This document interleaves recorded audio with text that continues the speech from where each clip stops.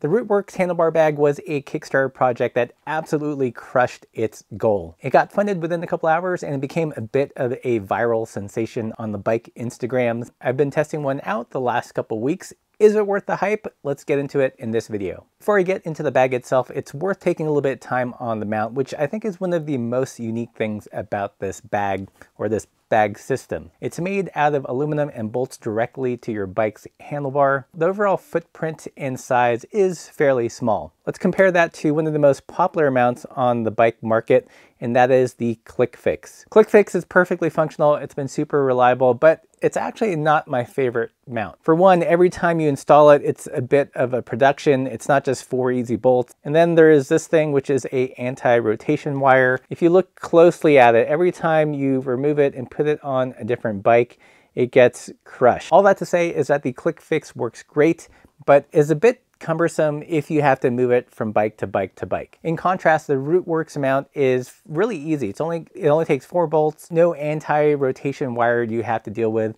and I found in my experience so far that it will keep the bag level and won't budge. I think the only other aluminum mount on the market is the one for the Arkel handlebar bags. Those work great, but they're proprietary. I've only ever seen them used with an Arkel handlebar bag. So for me, I'm super stoked to see another option out there. So moving on to the bag, it's pretty straightforward. It has kind of a smallish boxy rando shape, which you guys know that I love. It has a fabric body, I believe it's Cordura, so it does offer some water resistance. On the sides there are these little itty bitty uh, external pockets, which are good for putting tools or your keys. Another nice touch are these rails on the side of the bag that allow you to add more accessories like a light mount. I think the big story here is this hard shell top. This is pretty unique and I think it solves a, I wouldn't say a problem, but it makes this portion of a handlebar bag more useful. And by that, I mean most traditional rando bags have some kind of uh, translucent map case here, but it's 2021, a lot more people are using phones or GPS devices, so this part largely gets unused. As a fun side note, be sure to check out my Garmin hack video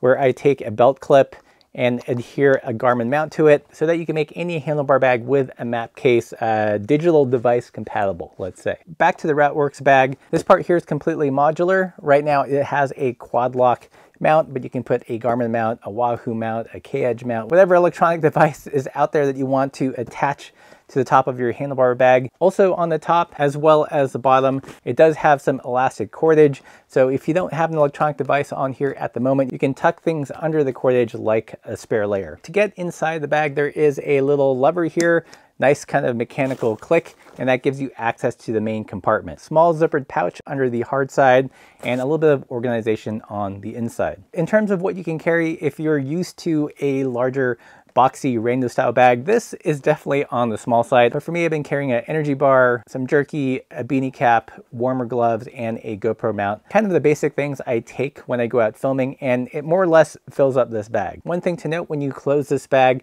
uh, I had assumed that you just shut it and the latch would automatically close, but you do have to push it down, then push this lever so it clicks on top of the hard top. I don't know if that's just my sample, but I had assumed that it would shut automatically, but it does take a little bit of help with the thumb.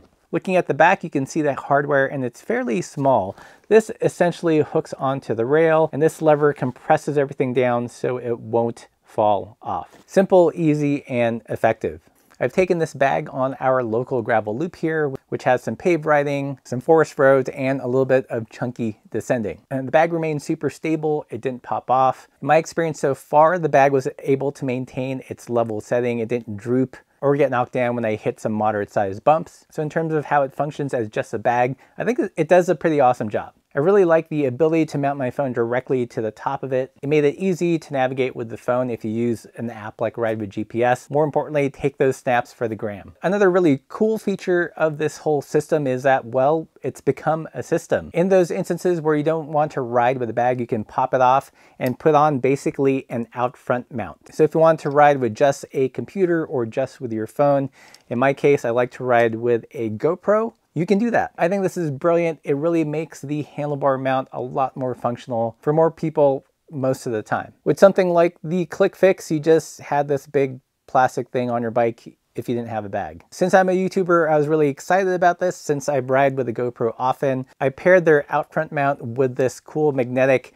uh, GoPro mount. This allows me to shoot some riding footage, but very quickly take it off with the power of magnets and do a little piece to camera. I'll put a link to this magnet thing in the description below. While the action mount adapter is a good idea, it's not quite perfect. Because the fingers of the mount are aluminum, as you screw it in, it doesn't flex in if it were plastic. That's generally a good thing, but that assumes that all the accessories that you're gonna use with this are perfectly machined to the right tolerances. I found the fingers of the new GoPro 10 and even this thing were, were sized a little bit small and I had to really wrench this down to keep the camera from flopping around. And even at that, it was a little bit loose. You can see I, I can still move this pretty easily with my thumb. I think that's one of the downsides of having the fingers as aluminum. You could remedy this by cutting out little plastic spacers to take up those gaps and to make the fitment just a little bit tighter. So before I talk about the pros and cons, if you guys are enjoying this content, please consider joining us on Patreon. It's the best way to support the channel. You get access to lots of cool perks and giveaways, and you keep all this bike nerdy content going. So the first big pro is the design. On this channel, I have reviewed a lot of handlebar bags. And this bag has lots of cool tricks up its sleeve that I have not seen in other bags before. I love this modular mount system. It's very, you know, 2021 and beyond, recognizing that fewer people use paper maps and making it easier to use digital devices of our choice. I also love these side rails, which add more places where you can put accessories. And I love the multi-functionality of the mount. It's not just for the bag, you can put other things on it. It's, it's not all sunshine and roses though. There are some kind of quibbles I have have with this bag. The first one is that it is a little rattly. I'm not quite sure if that's from my phone hitting the top or the lid uh, bouncing up and down. I don't want to overstate it. It doesn't actually bother me, but I thought I would just point it out there. If you're someone that absolutely requires the most silent ride, then this bag probably isn't for you. The biggest problem, or rather I should say the, the small big problem is its size. I can literally fit it in the Swift Paloma. I do think for the money, it's a little bit on the dainty size.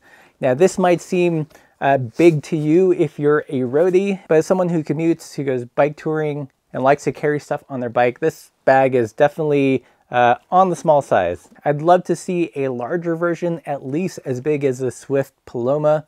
I'm hoping as you size up that the mount is still able to hold the bag level. Who knows, maybe that's one of the reasons why it's so small, so you can't overstuff it and overpower the limits of the small mount. But size to me is a bit of a problem. It's barely big enough to carry things that I usually carry to, to film bike reviews. But that's just me. If you're a roadie and you like to travel fast and light and aren't carrying a small studio with you, then this bag might be enough or more than enough. Overall, I think this makes for an awesome bag if you're doing a light and fast event or a long day ride. I think it's a little bit small for touring and bike packing. I'd love to see a little bit more capacity out of this. Regardless, it's cool to see what RouteWerks is doing and how they're kind of reimagining the rando bag.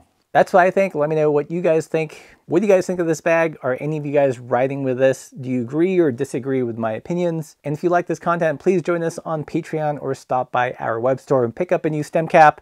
There's also a new print for sale. new print arts. As always, keep the supple side down.